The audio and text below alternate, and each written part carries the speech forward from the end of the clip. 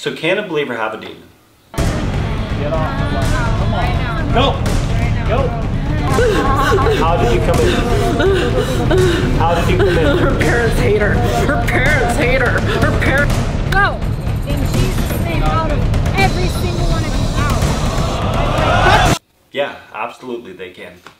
Well, how is that possible? They have the Holy Spirit.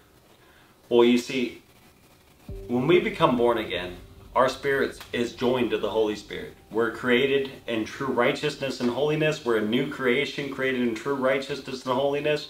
Everything's made brand new, but guess what? The Bible tells us to renew our mind. It says, don't be conformed to this world, but be transformed by the renewing of our mind. That shows that even though in the spirit that we are right with God and we're aligned, our soul needs to come align with what happened in the spirit. So it's like your soul and spirit fit together like a glove. Now, say you put on a glove and you're missing a finger, you have this area where that's not being covered. Same way, well, our soul is supposed to fit our spirit, but if there's an area that we're not in agreement with Jesus, the enemy can actually get an access point there. Now, how does the enemy get access? Well, the enemy actually gets an access point to a believer through agreement. Simple as that. Well, sin is actually agreement with the devil. So when we willingly sin, say you're a believer, but you're looking at pornography or you're opening up the door, guess what? You're actually coming under the devil's authority in that place. See, God gave you all authority to trample on serpents and scorpions and over all the powers of the enemy. It says that in Luke chapter 10. But with authority is we can hold it and use it or we can give it away. Now, when you come into agreement with the devil, you're giving your authority to the devil and you're actually allowing the devil to be over you in this life because you are a slave to who you obey. So if you're obeying the devil, guess what? You're becoming a slave to him, meaning coming in bondage to him.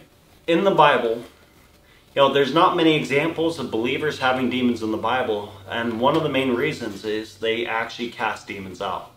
If you read throughout all the Gospels, everywhere Jesus went, he cast out demons.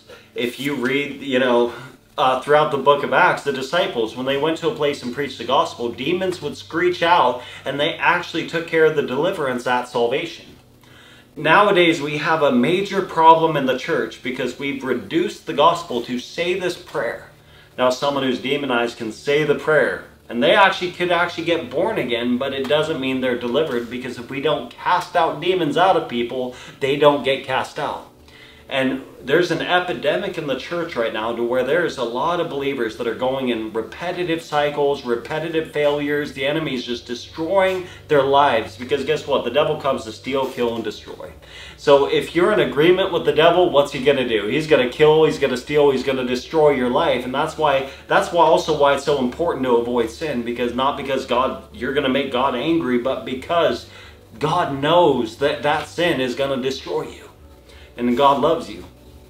But what happens is these people never get free and then they go to their pastor and they're like, hey, pastor, you know, I, I, I'm struggling in this area and I feel I've been having demonic nightmares or this is happening or I'm constantly depressed.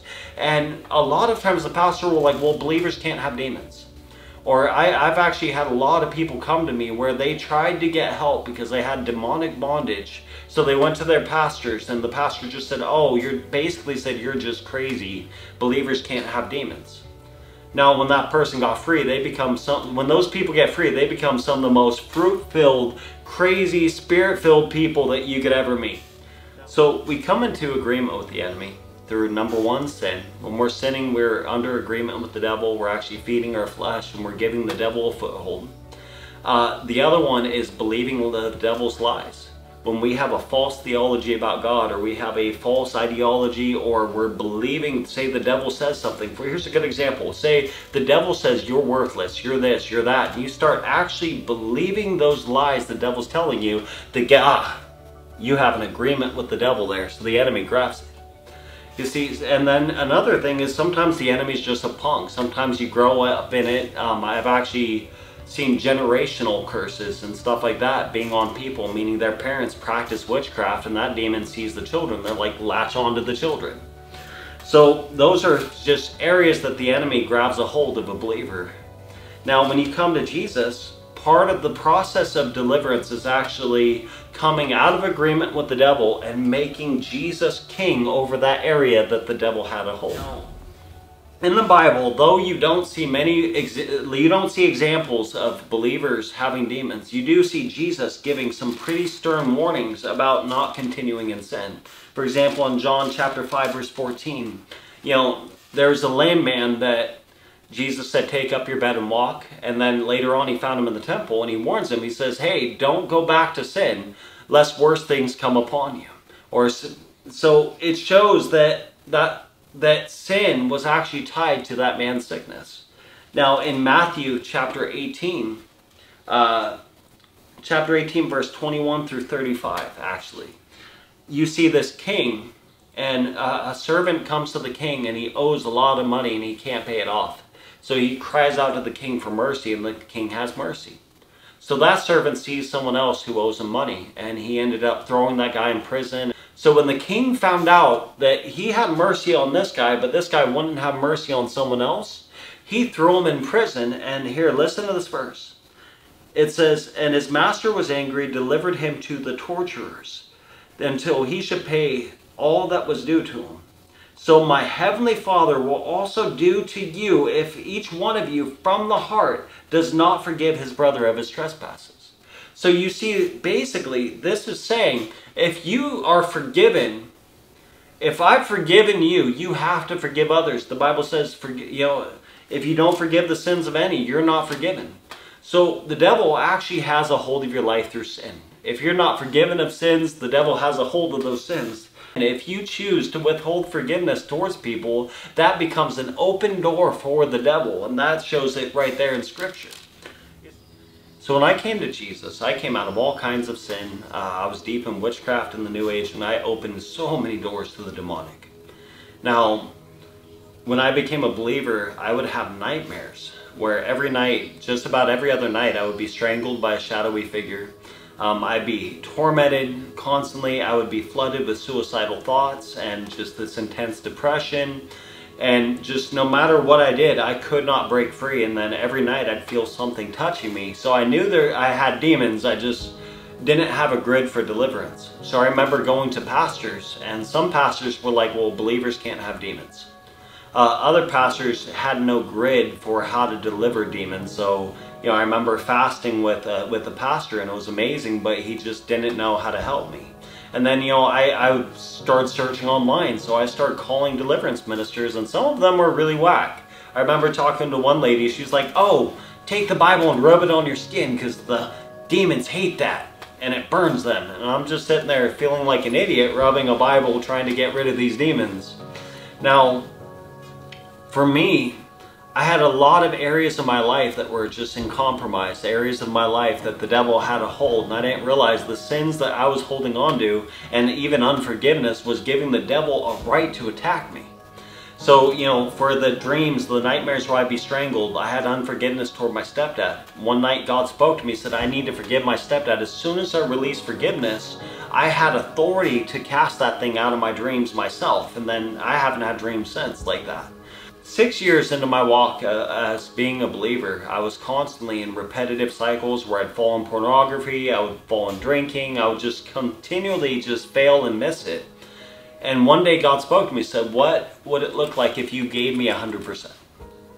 So I, I never thought I could give God 100%. I always thought I'm always going to be in struggle. This was just my life. Woe is me. Who could save me from this body of death? But when God said that, something in me sparked alive. And I'm like, I could give God 100%.